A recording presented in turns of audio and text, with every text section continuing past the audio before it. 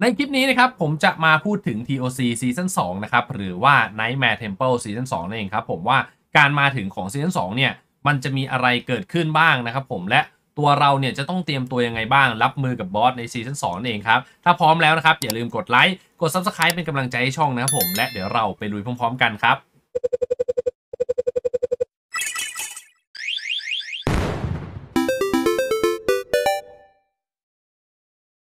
ยรู้สึกไหมคะ ว่าการเติมเกมเป็นเรื่องที่ยาก คุณแม่จับได้ตัดบัตรไม่ผ่าน แต่พอหนูได้มารู้จักกับเพทวินท็อปอัพปัญหาของหนูก็หมดไป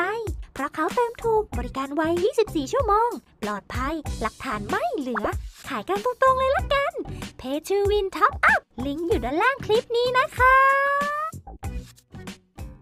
เอาละฮะ ก่อนอื่นเนี่ยผมต้องขอแจ้งเพื่อนๆทราบก่อนนะครับผมว่าข้อมูลที่เพื่อนๆกำลังจะได้ฟัง และก็ได้เห็นต่อไปนี้เนี่ยเป็นข้อมูลในเซิร์ฟเวอร์ไต้หวันเท่านั้นนะครับ ถ้าเข้า global มาแล้วเนี่ยอาจจะมีการปรับเปลี่ยนได้นะ เพื่อนๆก็เช็คของ global ให้ดีอีกทีหนึ่งด้วยนั่นเองนะครับอะโอเคครับผมก่อนอื่นเลยนะครับคำถามที่หลายๆคนน่าจะอยากรู้ก็คือว่าซีซั่น2เนี่ยมาเมื่อไหร่นะครับผมอะ ถ้าให้ผมบอกเนี่ยตามไต้หวันนะครับมันก็จะมาตอนที่เลเวลโลกเนี่ย95 หรือว่าตัวละครเราเนี่ยสามารถเกินเลเวล100ได้นั่นเองครับ เพราะเมื่อก่อนเนี่ยไอเทมอุปกรณ์ของซีซั่น2เนี่ยจะเป็นไอเทมสวมใส่ของเลเวล100 ครับ แต่ภายหลังเนี่ยตัวเกมเขาปรับมาให้เป็นเลเวล90 เพื่อให้ผู้เล่นใหม่ๆเนี่ยได้เลือกใช้ไอเทมที่แบบว่าดีที่สุดนะครับผมอะเพราะฉะนั้นเนี่ยคาดเดาว่าเลเวล95 นะครับของเซิร์ฟ global นะน่าจะมาแล้วนะครับสำหรับ TOC ซีซั่น2นะครับผมทีนี้ นะครับการมาถึงของซีซั่น2เนี่ยไอ้ลูกแก้วที่เราอัพไปทั้งหลายเนี่ยมันจะมีผลกระทบอะไรบ้างนะครับผมอะตรงลูกแก้วตรงนี้นะครับผมทุกคนก็น่าจะทราบดีครับว่ามันมี stat ถาวรกับ stat ซีซั่นนั่นเองครับโดยตอนที่เราอยู่ในซีซั่น1เนี่ยยังไม่มีซีซั่น2เนี่ยทั้ง 2 ฝั่งเนี่ยมีผลต่อสนามข้างนอกหมดถูกไหมครับผมอ่ามีผลข้างนอกหมด มีผลใน PVP มีผลกับการล่าบอสหรือแม้แต่ลงดันอื่นๆเนี่ยด้านขวาเนี่ยก็มีผลทั้งหมดครับแต่ว่าพอซีซั่น2มาปุ๊บเนี่ย ไอตัวด้านขวาเนี่ยครับผมมันจะไม่มีผลแล้วนะครับอ่าแปลว่าอะไรครับ แปลว่าถ้าเกิดใครที่อัพตัวนี้ไว้เต็มแล้วเนี่ยพวกกันธาตุกันกันไฟกันลมกันดินอะไรพวกนี้ครับถ้าอัพไว้เต็มแล้วเนี่ยพอขึ้นซีซั่น2ปุ๊บถ้ากันตรงนี้ของคุณก็จะหายไป เพราะว่ามันไม่มีผลต่อข้างนอกแล้วนะครับอ่าแล้วก็ด้านซ้ายนะครับตรงนี้สแตทถาวรนะครับตรงนี้เนี่ยยังคงมีผล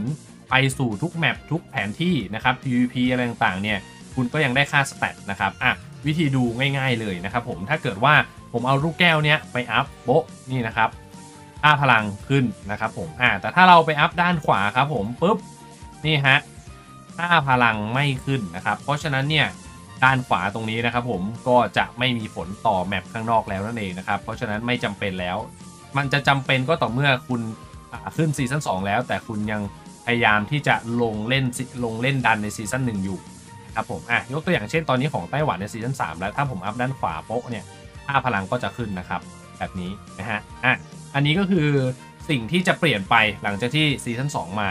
เพราะฉะนั้นเนี่ยด้านขวาเนี่ยเราอาจจะไม่ต้องอัพแล้ว เราอาจจะรีทิ้งเอาเงินไปอัพแมวก็ได้ แล้วก็อัพด้านซ้ายให้เต็มนะครับก็สามารถทำได้เช่นกันนะครับอะทีนี้เนี่ยพอซีซั่น2มาเนี่ยการลงดันจะเป็นอย่างไรนะครับผมการลงดันเนี่ยจะเป็นยังไงนะครับอะลงดันเนี่ยก็เหมือนเดิมนะครับ เราจะสามารถ ลงได้ 15 รอบเหมือนเดิมนะครับสำหรับซีซั่น2นะสัปดาห์ละ 15 รอบ แต่ dungeon ของซีซั่น1เนี่ยเราก็สามารถลงได้อีก 15 รอบเหมือนกันนะครับโดยที่ไม่ได้ไปเบียดเบียนจำนวนการลงของซีซั่น2นะครับอ่าแล้วก็พอซีซั่น2มาเนี่ยมันก็จะมีเจ้าตัวระบบ skip มา เพราะฉะนั้นใครที่ผ่านแบบ hell อะไรหมดแล้วเนี่ยคุณก็แค่รอกด skip เท่านั้นเองนะครับผมอะเดี๋ยวผมจะให้ดูนะครับผมอันนี้ก็จะเป็น ตัวจำนวนครั้งการลงนะครับในรายสัปดาห์เห็นไหมครับ เป็น0ทับ15แล้วก็0ทับ5เนาะถ้าเกิดผมเนี่ยไปกด skip ซีซั่นหนึ่งอะกด skip ให้ดูซีซั่นหนึ่งกด skip ตัวด้วงก็ได้ครับอะกดปุ๊บนี่อ่าผมได้ของมาเรียบร้อยแล้วนะครับอะทีนี้เรามาดูตรงนี้ครับนี่ฮะเห็นไหมครับยังเป็น0ทับ5 0ทับ15อยู่นะครับนั่นแปลว่าคุณก็ยังสามารถลงดันนะครับของซีซั่น1หรือว่า skip ดันของซีซั่น1ได้เหมือนเดิม 15 ครั้งเหมือนเดิม ช่วยเหลือเหมือนเดิมนะครับผมอะทีนี้นะครับลงเพื่ออะไรนะครับลงเพื่อที่เราจะเอา status นะครับของอุปกรณ์ต่างๆนั่นเองครับเพราะว่า status ของอุปกรณ์ต่างๆเนี่ยคุณสามารถที่จะเอาไปสืบทอดให้กับซีซั่นอื่นๆได้นะครับ ยกตัวอย่างเช่นอะผมมีมีดอะผมมีอะซีซั่น3เป็นมีด แล้วผมอยากจะย้าย op จากซีซั่น1มาครับผมก็สามารถที่จะย้ายได้เห็นไหมครับอ่าอันนี้เป็นมีดซีซั่น3 อันนี้มีดซีซั่น1นะครับเวลาที่เราจะย้ายเนี่ยเราก็ต้องดูว่าไอสิ่ง op ที่เราจะย้ายเนี่ยมันเป็น op จากซีซั่นไหน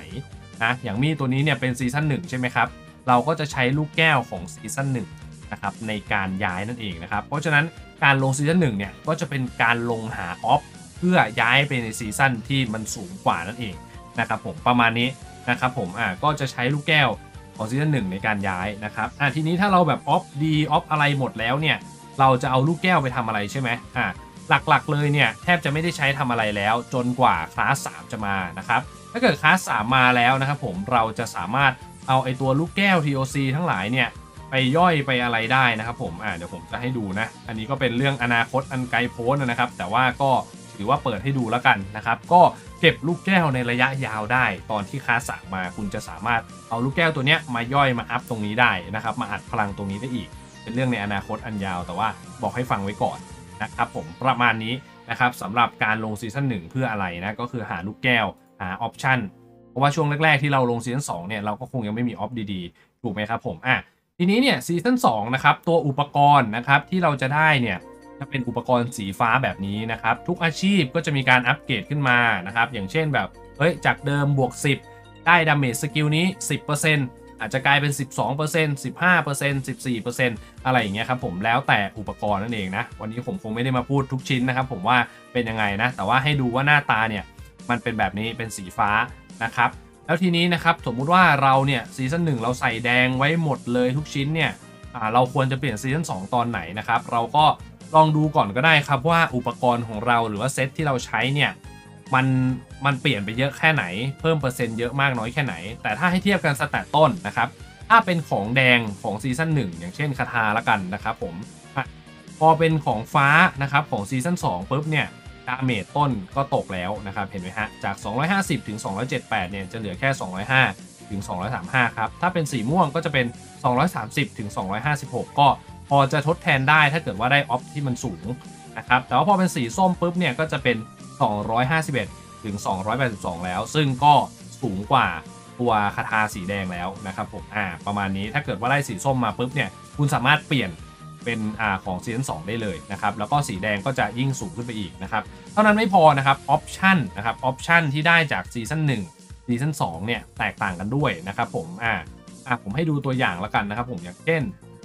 ตัวออปชันนะครับที่เราจะได้จากตัวอาดูเป็นมีดก็ได้ครับดูเป็นมีดนะครับ จากซีซั่นหนึ่งเนี่ยเห็นไหมครับค่า stat จะเป็น1ถึง8 1ถึง8 1ถึง4 1ถึง8 1ถึง8ใช่ไหมครับอ่าแต่ว่าให้ดูซีซั่น3แล้วกันกระโดดไปนิดนึงนะครับมันก็จะเป็น1ถึง13 1ถึง13นะครับเพราะฉะนั้นออปชันต่างๆ ที่จะได้จากซีซั่นแต่ละซีซั่นเนี่ยมันก็จะสูงขึ้นเรื่อย ๆ ด้วยนั่นเองนะครับแต่ช่วงแรก ๆ ที่เรายังไม่สามารถลงซีซั่น2ได้สูงๆเนี่ยเราก็จะต้องใช้ออปจากซีซั่นหนึ่งเนี่ยมาช่วยเรื่อยๆนะครับแล้วก็ช่วงแรกเนี่ย อย่างที่เราเคยลงกันไปนะครับ ช่วงแรกเราจะเอาลูกแก้วไปทำอะไรครับ เราจะเอาไปลงค่า Portal Resilience นะครับ เพื่อให้เราลงดันในระดับสูงๆของซีซั่นนั้นๆได้นั่นเองนะครับ เพราะฉะนั้นการมีออปชันของซีซั่นแรกนะครับ แล้วเวลาย้ายเนี่ยเราใช้ลูกแก้วซีซั่นแรกเนี่ยมันเป็นอะไรที่ช่วยได้เยอะมากเนี่ยเห็นไหมฮะเออเราจะย้ายเนี่ยแม้เราใช้แค่ลูกแก้วซีซั่นหนึ่งนะครับ เพราะฉะนั้นเก็บไว้นะครับใช้ได้แน่นอนนะครับผมอะทีนี้นะครับพูดกันมาเยอะแล้วนะครับสำหรับเรื่องอุปกรณ์ต่างๆนะครับผม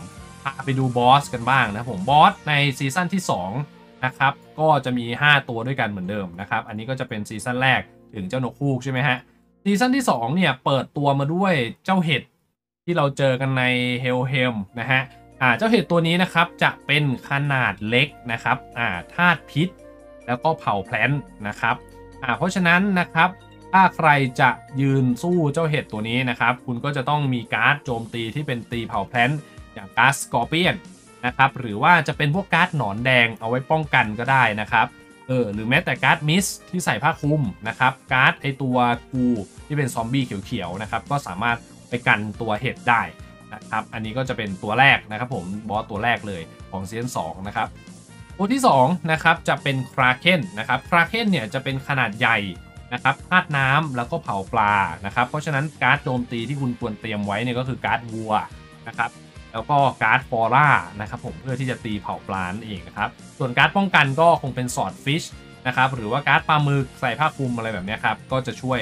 กันในส่วนนี้ได้นะครับต่อมานะครับผมก็จะเป็น Drake นะครับ Drake เนี่ยก็เหมือนข้างนอกเลยนะครับเป็นขนาดกลางเผ่า Undead ธาตุ Undead ครับ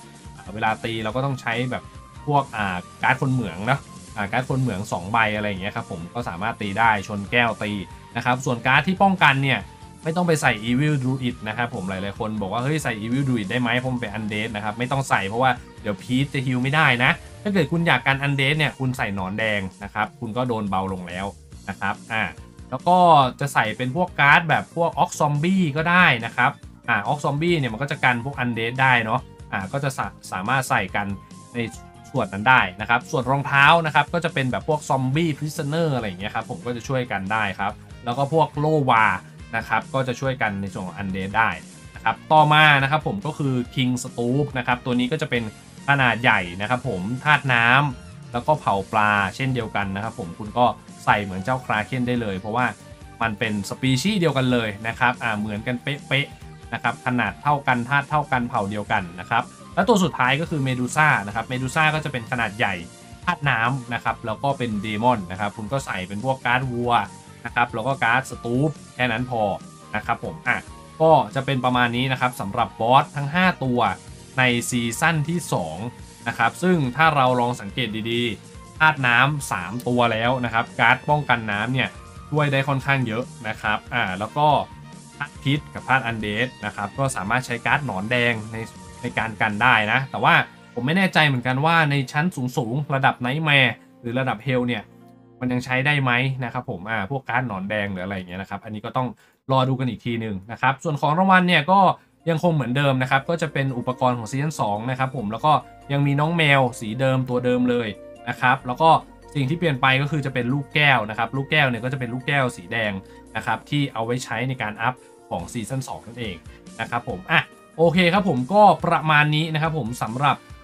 TOC ซีซั่นที่ 2 นะครับ ที่กำลังจะมาเร็วๆนี้ในเซิร์ฟเวอร์ global นั่นเองนะครับ หากใครยังสงสัยอะไรตรงไหนเกี่ยวกับเรื่องของ TOC ตรงนี้นะครับ ก็สามารถคอมเมนต์เข้ามาถามกันได้ หรือว่าจะเข้ามาถามกันตอนที่ผม stream อยู่ก็ได้ เช่นเดียวกันนั่นเองครับผม ก็หวังว่าคลิปนี้นะครับ จะเป็นประโยชน์ให้กับเพื่อนๆ ชาว RO นะครับผม ถ้าชอบนะครับ ก็อย่าลืมกดไลค์กด Subscribe นะครับเป็นกำลังใจให้ช่องผมด้วยนะครับแล้วเดี๋ยวยังไงไว้เจอกันใหม่คลิปหน้าครับบ๊ายบายสวัสดีครับ